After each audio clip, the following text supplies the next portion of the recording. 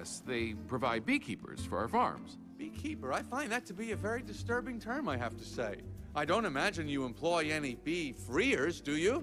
And no. I'm sorry, I couldn't hear you. N- no? No, because you don't free bees. You keep bees. And not only that, it seems you thought a bear would be an appropriate image for a jar of honey. Well, they're very lovable creatures. Uh, Yogi Bear, Fozzie Bear, oh, Build a Bear? Yeah, you mean like this? Bears kill bees! How would you like his big hairy head crashing through your living room, biting into your couch, spitting out your throw pillows? Rawr! Press start.